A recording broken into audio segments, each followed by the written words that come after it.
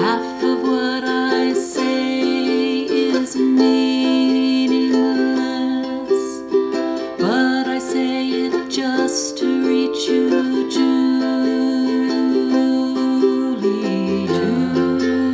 Julia.